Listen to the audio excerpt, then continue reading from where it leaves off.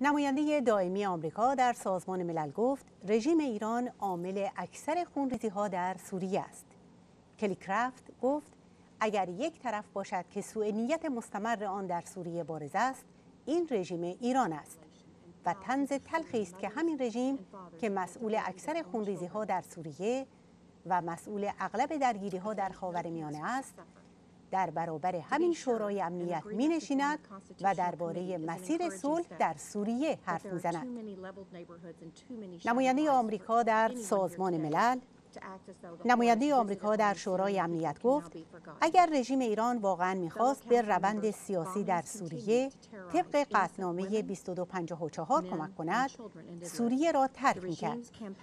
و شبه نظامیان و نیروهای وابسته به خود را بدون فوت وقت از این کشور خارج می‌کرد.